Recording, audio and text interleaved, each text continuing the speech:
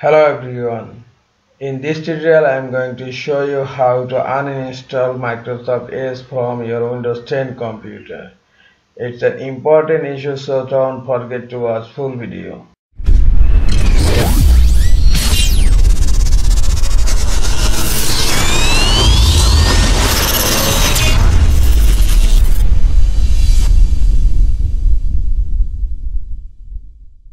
If you do not use Microsoft Edge for web browsing, why should you keep it as installed app in your computer? Because as you know, it uses your system resources, so you should uninstall it.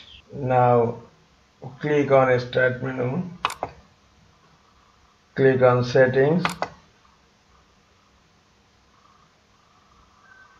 click on Apps,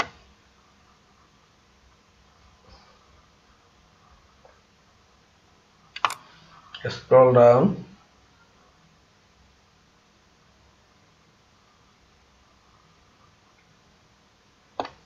This is Microsoft Edge and this is Microsoft Edge update. Click on Microsoft Edge. Look the uninstall button is disabled. Click on Microsoft Edge update Look, modify and uninstall button both are disabled. That means you can't uninstall Microsoft Edge from here as normal process like other apps. Close this window.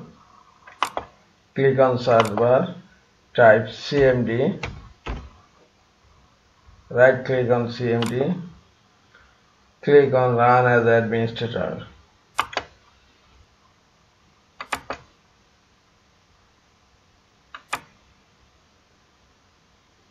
Select this command.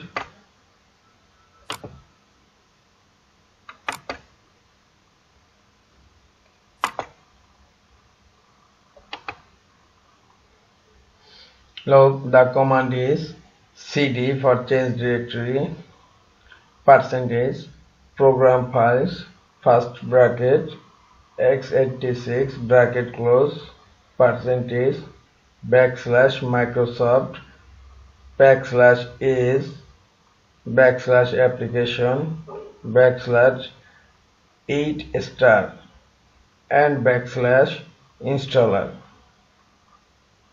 Okay. Hit enter. Now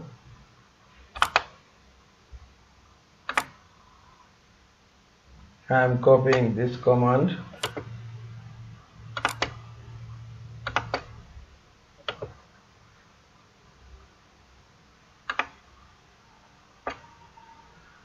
look the command is setup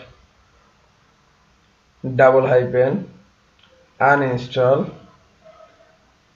double hyphen force hyphen uninstall double hyphen system hyphen level. Now hit enter. The command is executed Look, the Microsoft Edge browser icon is not showing in my taskbar. Okay, close this window. Now, in search bar type Edge.